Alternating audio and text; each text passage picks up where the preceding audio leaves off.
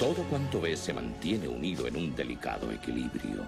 Como rey, debes entender ese equilibrio y respetar a todas las criaturas, desde la pequeña hormiga hasta el veloz antílope. ¿Pero no comemos antílopes? Sí, Simba, verás, te explicaré. Al morir, nuestros cuerpos alimentan la hierba y los antílopes se comen la hierba. Y así, todos estamos conectados en el gran ciclo de la vida.